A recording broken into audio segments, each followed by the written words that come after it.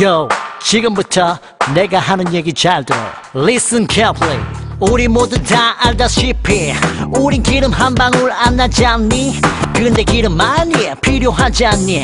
여기저기 많이 필요하지 않니? 기름 사는데 필요한 건 달라 환율은 말야 어제 오늘 달라 그래서 가격을 정하는 것도 우리 생각과는 달라 인천 앞바다에 사이다가 떠도 컵이 없으면 못 마시듯이 원유를 사와도 정제를 해서 휘발유를 만들어야 쓸 수 있지 않니? 알고 보면 그게 아닌데 오해할 일이 진짜 아닌데 알고 보면 진짜 아닌데 오해할 일이 정말 아닌데 알고 보면 수출 1위인데 석유가 우리 수출 1위인데 그 기술이 세계 탑인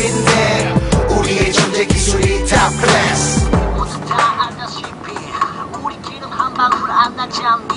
근데 기름 많이 필요하지 않니? 여기저기 많이 필요하지 않니? 기름 사 혹시 우리나라 수출 1위 제품이 뭔지 아십니까? 바로 석유 제품입니다. 원유를 수입해서 50여 개국에, 오, 50여 개국에, 50여 개국에 수출을 하고 있답니다. 이거 정말 자랑스럽지 않습니까? 이제부터 기름을 만든다 복잡한 정제 과정 거친다. 휘발유에서 경유 등유까지 이 많은 기름들을 만든다. 그게 끝이 아니지. Yeah. 다시 한번 기름들을 추출해낸다. 우린 아시아 1위 규모의 시설. 복잡하고 정밀한 고도화 시설. 가치의 창출 놀라운 추출. 가치가 낮은 기름들을 고부가 가치로 바꾼다. 고부가 가치를 만들어내는 이 기술이 세계 top class 기술이 world class 제2의 유전.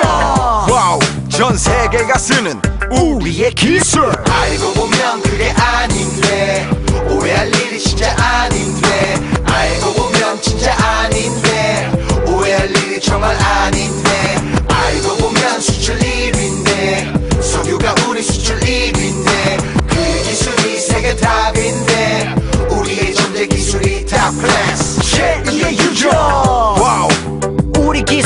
세계 top class 제2의 유전 세계 50개국에 수출하는 우리의 석유 제품. 제2의 유전 yeah.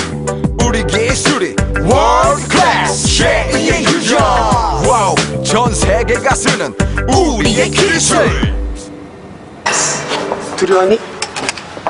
둘이 왔어?